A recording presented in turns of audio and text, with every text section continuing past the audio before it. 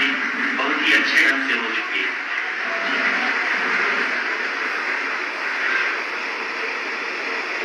lot of applause indicates that uh, till now the performance has been nominal. We are in the vertical descent phase 1. The altitude is being brought down from 800 meters and we are nearing and approaching the lunar जी आप अपने screen पे देख सकते हैं कि lander का height लगातार कम होता जा रहा है।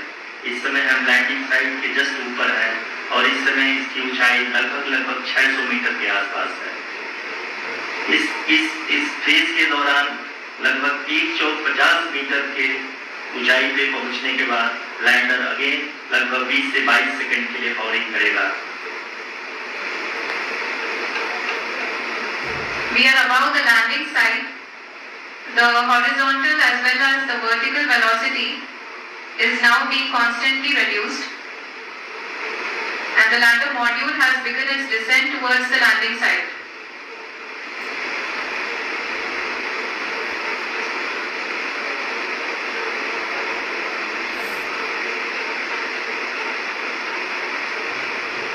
जी अपने स्क्रीन पे देख सकते हैं। ये जो पथ निर्धारित किया गया है लैंडर पूरी तरह से उसी को ही फॉलो कर रहा है। इस समय हम लगभग 200 मीटर की हाइट से भी कम आ चुके हैं।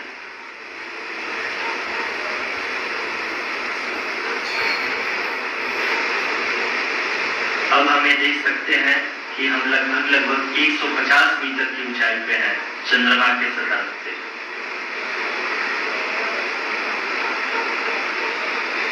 We are approaching the uh, vertical descent phase 2 which will have the lander module hovering at nearly 150 meters above the lunar surface.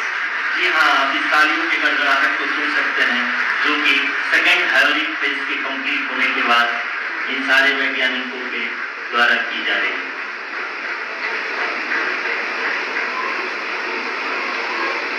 जी हाँ अगर फिर से ध्यान से देखें तो एल्टीट्यूड पुनः कम होता जा रहा है अभी हम लोग लगभग लगभग 135 मीटर की ऊंचाई पे हैं The sensors that are updating at this point are providing confirmation of the safety of the landing site. As expected, the retargeting is going on and this is a very good signature for the lander. अभी आप ये देख सकते हैं lander की ऊंचाई लगभग पैंसठ मीटर के आसपास बची हुई है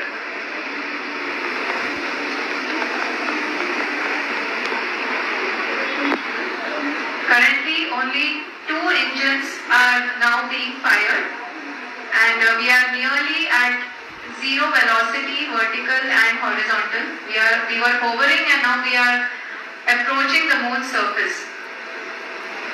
धीरे धीरे लैंडर की वेगमान को कम किया जा रहा है और हम अब लगभग 50 मीटर से भी कम आ चुके हैं We can see the Honorable Prime Minister, Sri Narendra Modi ji, who is here to encourage us, and he is critically looking at the visuals.